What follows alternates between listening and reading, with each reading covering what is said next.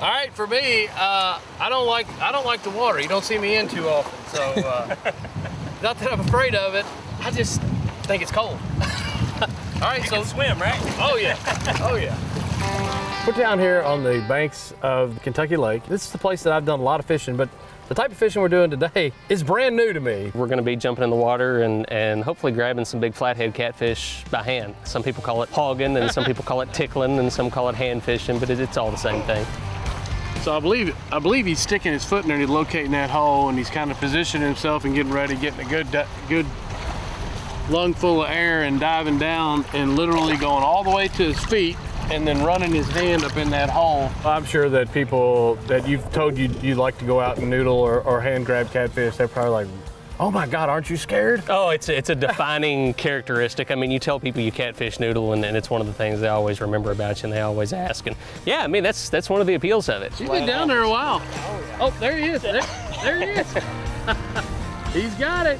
Little what guy. what do you got there? Just a little channel cat. You can see where they get skinned up under those rocks and things. Oh yeah, that's the way to get started. You're just gonna turn him loose. yeah, just turn him loose and find his way right on back down. Then we can go find something bigger. I've been noodling catfish, I guess 16 years. Um, as a matter of fact, my very first assignment as an outdoor writer was to go down to Mississippi and uh, and try to noodle a catfish and write a story about it. Those guys, they were pretty intense, pretty serious about it, but I learned how to do it. I caught a nice flathead and I was like, man, this is cool. I like big catfish. I always have. I've always been intrigued by them.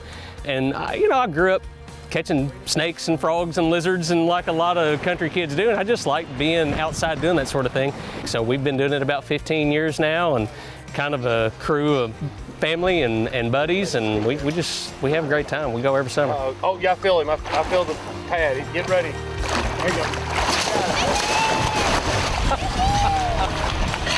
there he is. Kentucky actually has a season. It opens June 1st. It, really gets going when the water temperature hits about 80 degrees. That's when the flatheads kind of start moving up into the holes and, uh, and stays good for a few weeks there. And honestly, by about the middle of July, we're, we're skinned up and worn out and ready to hang it up for the year anyway. Check his gills and be sure nothing's bleeding, and it's not.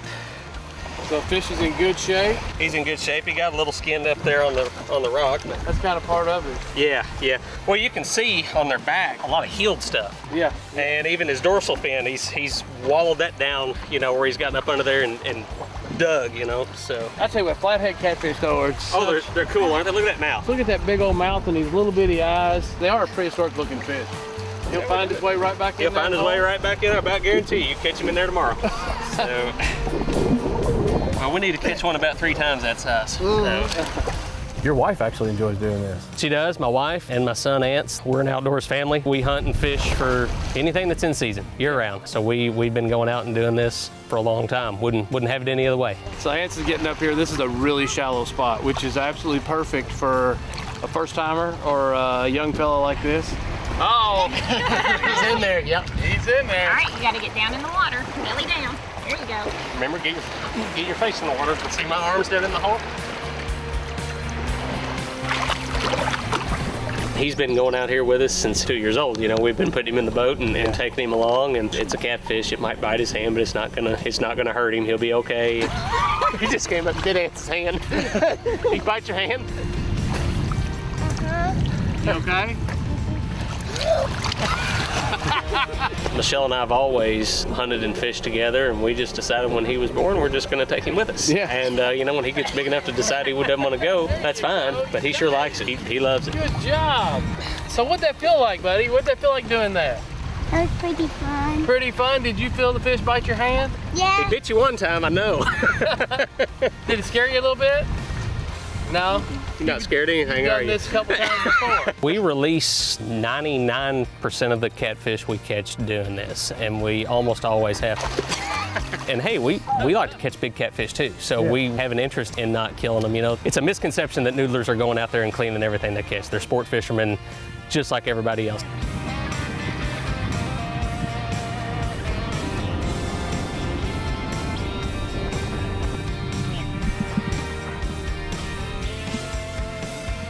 A lot of people sink boxes for, for catfish noodling or drums, just like sinking structure for crappie, but it's, you know, it's for a single catfish. First time I've ever tried this. So uh, we're here at this box and I got my feet right in the opening.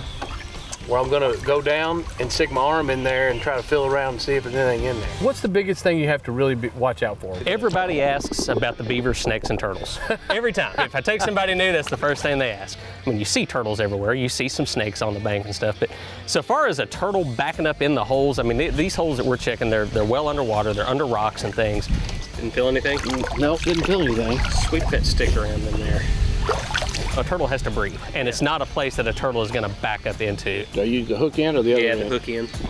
The thing that we stress, like we always go in groups, we never have somebody dive alone. I mean, the, the biggest real danger is obviously drowning. There's always the chance that you're going to get stuck underwater. I don't feel anything. Nobody home. So we always have somebody right there next to us when we dive. And most of the holes that we check, you can you can stand up, but there are a few that are over your head, and those you need to you need to be particularly careful. A lot of what we check, honestly, are holes that we found in the banks, under rocks. It's taken us 15 years of looking, and we look continuously every summer. We've kind of built a circuit of areas that we check. Some days this one will have a fish in it, and that one won't, and vice versa. But it's it's uh, it's still fishing. Getting ready to check another hole. This is completely different than the last one. It's not actually a man-made box. It's up under the bank and it's got some concrete in around it. So we're gonna go see what they've got. They said this hole has been known to hold some pretty good sized fish. you already got one? She gets real quiet. I tell you what, this is this is something that you probably wouldn't want to do by yourself for safety concerns, but it also takes some teamwork sometimes to manipulate these fish and the best way to get them out. That's what we're seeing right here. Closed his mouth. But if you come to the left, I gotta push him back in. yeah. Is he a mean little sucker, Mama? yes, he is, baby. He's biting the fur out of my. Oh!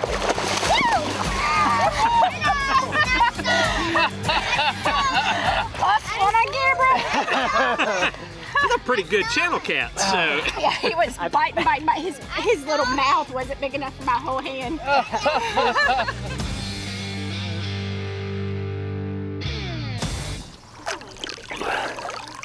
Nobody home? Nothing I feel. But I, I, I heard something. Did one of you guys, I had a stick under here. Oh. it might have been raking or something. you want to try this one or? Yeah, I'll, I'll double check it. The other day there was a fish that kind of laid over to the right, and he was kind of hard to kind of hard to find. Be sure. It's just hard to get a feel for what you're feeling for uh, with Oh yeah. fish. when you go in, take that stick and turn it to the right. Okay. You It's hit a- the stick. It's a flathead. So once I locate where he's at with the stick, then I got to manipulate. him- Yeah, yeah. You'll kind of have to manipulate him a little bit, and you might. He'll, he'll probably bite that stick, and you might be able to just kind of pull him, and as you do, swing him out, and I would have your left hand in there ready to get him. All right. But you'll you'll know it if he gets on that stick. But yeah, go in there and go straight right. straight right. Yep. All right.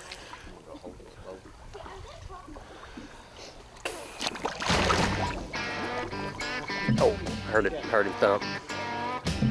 Yep.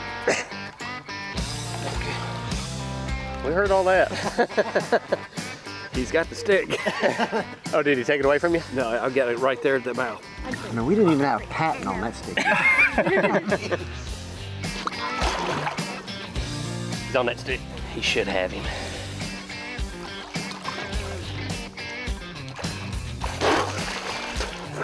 Hold of him. What do we got?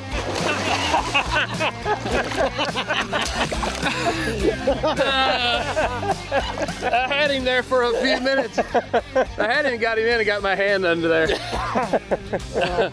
oh man! Well, I turned him loose. Obviously, Yeah, we I got to see him. So nice Got him up out of there. so wait a minute, what we got here? if we slow that video down, you'll be able to tell that I actually did have a catfish in my hand for a second. I got it out, and, and uh, you, you guys were told me to keep it close to my body. Well, when I went to stand up, I was trying to show it to the camera, Yeah. and I had it out about this far away, and it just got loose. Oh yeah, we all saw it and it's on tape. We were gonna turn it, we were gonna turn it loose anyway, but that was pretty awesome. Yeah, that's pretty that was cool. Pretty That's awesome. Pretty cool.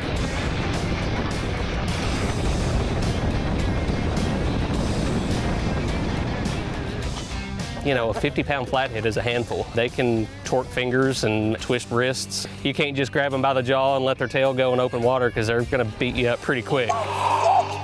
It's so far down that the pressure builds. Try and hold your breath when you get down there. Mm. Like it takes me a little while to I just can't stay down there long on this hole. You've got to respect a fish like Oh, that. yeah. But if you hold them the right way, if you can kind of get their head up close to your body and get their tail under control, and that's another reason why we dive in pairs a lot. If we've got a big fish, there's no shame in having a buddy grab his tail so he doesn't beat you to death. Oh, you got it? Oh my God. Pull it up here. Look at A tag on him too. kind of for my own benefit of knowledge, you know, we've started tagging some of the fish, you know, with a zip tie and the dorsal fin or something, just to see. And we've had fish that we've caught three weekends in a row. Catch them, take a picture of them, let them go, and they go right back in there. What uh, what do you now? What do you think that approximately poundage of this fish? My guess would be, Ants, what's this fish weigh? I'm about, let me look at it. About 11 pounds. 11 pounds. I think it's a little bigger than that. Between that and, and catching a big flathead on a live bluegill that might swallow that hook, so far as that individual fish, this is not hurting him as much. It's one of those things that you do it with knowledge and respect of the resource. This fish got just a couple little bitty bitty spots on it, but it's, all in all, it's in great Yeah. shape. Big old fat belly on it. You really can't understand the feeling of getting in there and feeling that fish strike until you actually use your hand for a lure. Right, exactly. We've taken a lot of new people, and that's, that's part of the fun. Like, we like to take people. Just almost universally, it's not what they expect. Yeah. It's, it's not as scary, I guess, Yeah. as people think it's going to be. But also, people are pretty surprised at how powerful those fish are. Oh yeah. There you go. Finally. Finally got him to hit. It's amazing to me how you, you kind of work in groups and as a family and as teams. It's a team sport, and it's more fun with a lot of people out here. Oh you know? yeah. What do you think about that? Pretty fish, huh? Mm-hmm. I like his belly. I know, aren't they pretty? It looks like a little male. I think you're probably right. Hey, I'm going to keep an eye out for some of your articles and keep up with what you're doing. And uh, I'm sure you and I will find some more trouble. For sure. Yeah, someday, yeah. I think it'd be a good time. Well, I enjoyed it, buddy. A lot of So, fun. Yeah, a lot of fun.